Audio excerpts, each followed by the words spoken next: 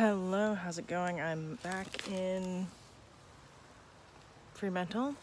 Um, just about to do a bunch of random shit that's irrelevant. Um, I'm in the caravan again, surprisingly. There's been a slight upgrade of the front of this tiny, you can see bricks. Bricks are in the front. We'll go look at that maybe in a minute. What's the update? It turns out I do not need a second, almost exactly the same medical, which I guess I already knew, but I booked it just in case anyway, because it was a um, two month wait list. So I've canceled that. Uh, luckily I did buy the package, extra package with my flight, which meant I could change the date for only like 60 bucks. So that was fine. I changed it to the next day. I was only going to be there one day anyway. So now I'll be there for 12 hours, which is like a pretty standard crap stopover, I guess. Um, but I also got to book my, uh, cancel my accommodation. So that's another 150 bucks saved also the medical itself is like five hundred dollars or something so. So that's good and then I can be here for another day so it won't be as rushed. Um, what is the update? I didn't really do many videos during my last work swing. The first week was flooded for most of the time so we're just uh, completely drenched, wet, raining, mm, roads were rained out, truck couldn't come in. I think the actual mine itself was closed for several days, more or less. Um, so yeah, lots of rain. The village was also very much submerged in, in places, but because we, the beautiful housekeepers, have to go to every single room.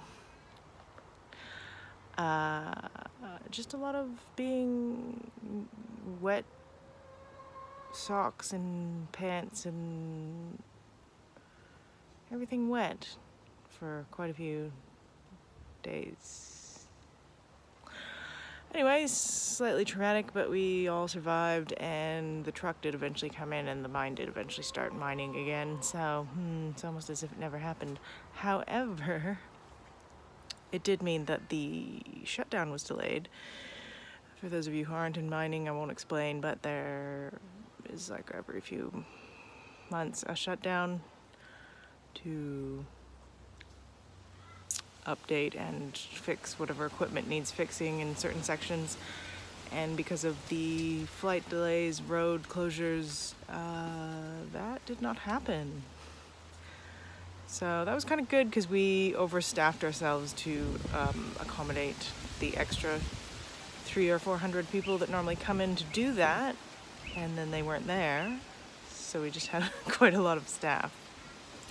But there was extra work involved with the fact that, you know, uh, floods and no truck. Anyway, so um, well that ends well, and they've rescheduled it for the week after my last day, so I don't have to be there. Which I'm quite happy for. But I did honestly come back partially because I didn't want them to be understaffed during shutdown. It is the worst. Especially new staff that don't know anything. so I didn't want to be that person.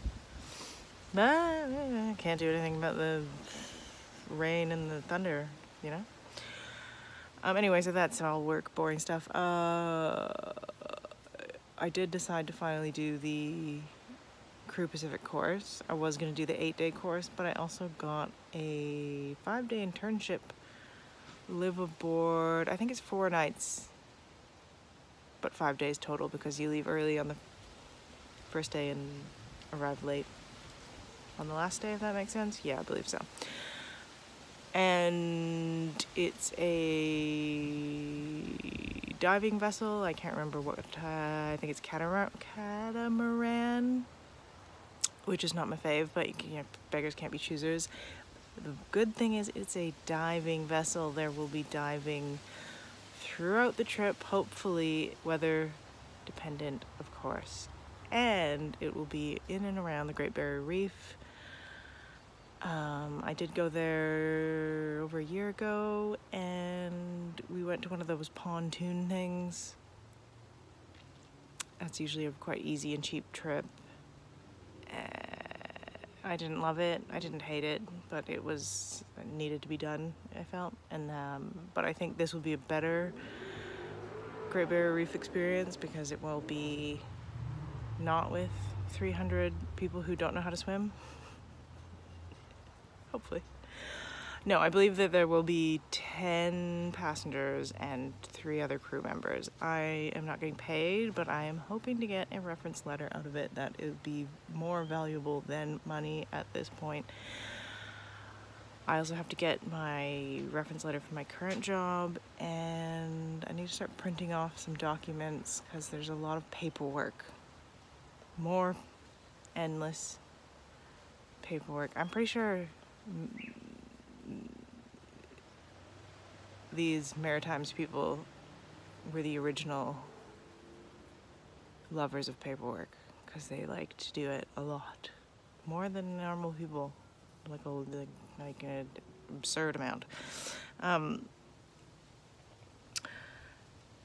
so yeah there's a lot of that that's happening um, that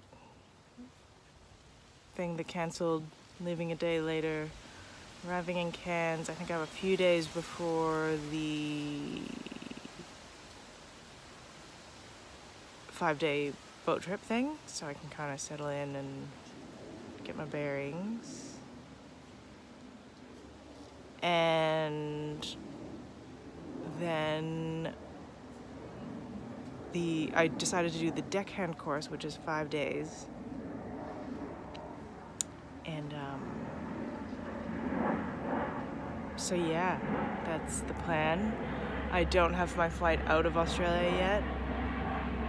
The course ends on the 2nd of May and I have a bed booked until the 5th of May currently.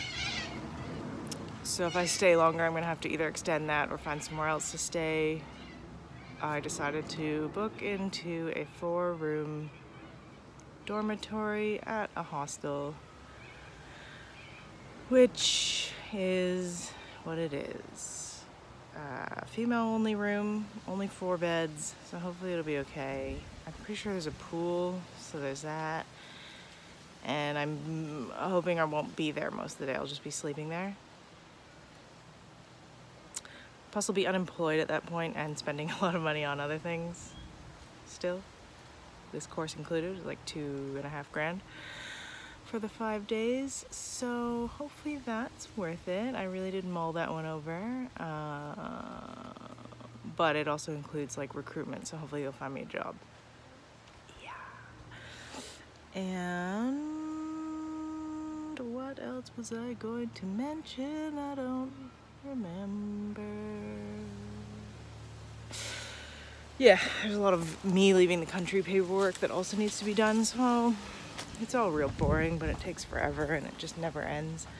And then you need paperwork just to do the paperwork. So it's one of those. Um, yeah, that's the, that's the, that. Um, also tomorrow, I think the plan is we've got a bunch of mulch in the front. We're gonna re-mulch this path. And I think down here where I just was, all that um, sort of middly area and I don't think there's been really any changes but I am in the caravan as I said. This is the second time I've done two weeks off in a row in the caravan and that is my mess. Everywhere is a mess. Oh, oh and I just sent some stuff to Canada mom so um it's mostly just my old calendars, like these things.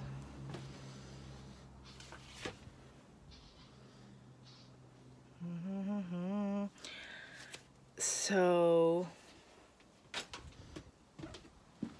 yeah, I sent that, and also I think there was a few bank cards in there that I don't use, but do want to keep, sort of thing.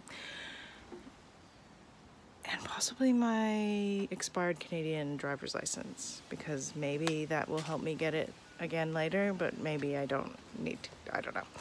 I don't know I'm carrying it around, so I'm just trying to get rid of things that I don't need, because bag only fits so many things, and boat only fits so many bags, and etc. Um, so because we're like a full house, there is a pop-up room just here.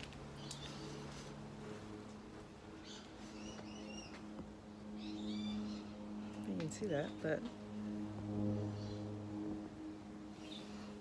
mm -hmm.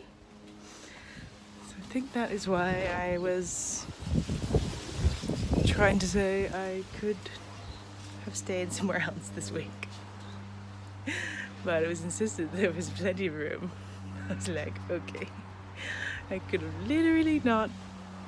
Anyway, it is what it is. I think that this is going to be the situation again when I come back on my way out. I think I might just offer to do that pop-up room if necessary. Oh, look who it is. It's Luli. Oh, is a little kitty boo boo?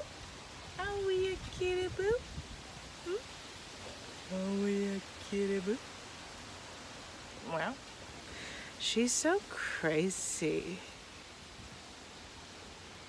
Like, I want to be your friend, but I'm also a psychopath. Hmm? pet me, but I might also attack you. Yeah. what are we doing? Hmm?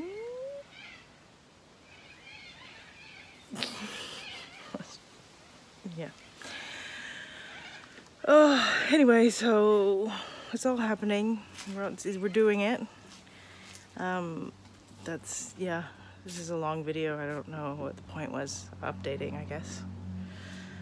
Huh? Who are you? Where am I? What are we doing? Is this real? Are we a simulation? I don't know. I don't, I don't know anymore. Um, yeah. It's all good. It's all gonna be good once it's done. I'm so bored of paperwork. Oh my god. Okay, bye.